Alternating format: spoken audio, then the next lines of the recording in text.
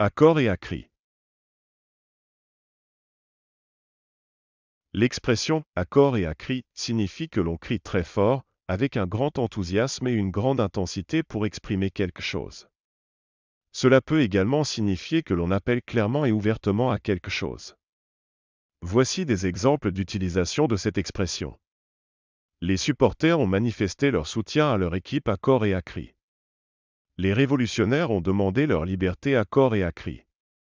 Les villageois ont appelé à l'aide à corps et à cri lorsque leur maison a pris feu.